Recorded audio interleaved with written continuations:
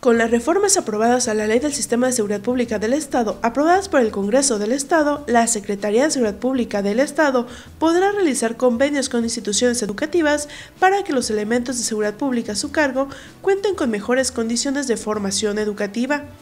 La reforma fue impulsada por el diputado Rubén Guajardo Barrera, quien explicó que la seguridad pública debe ser un pilar para el adecuado ejercicio de los derechos y la consecución del bien común, debiendo impulsar la formación y profesionalización del elemento humano de los cuerpos de seguridad pública. Realmente lo que estamos eh, buscando es eh, fomentar e impulsar la formación educativa de los elementos de seguridad pública, poder celebrar convenios con instituciones educativas públicas, y privadas.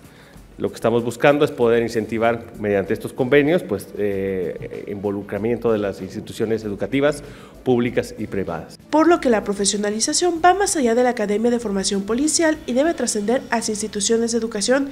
Es por ello que cobra importancia que el titular de la Secretaría de Seguridad Pública pueda llevar a cabo convenios con instituciones educativas a fin de que los elementos de seguridad pública a su cargo cuenten con mejores condiciones de formación educativa, ello en beneficio de la población a la que sirven. El legislador consideró necesario que San Luis Potosí realice acciones decididas en ese sentido.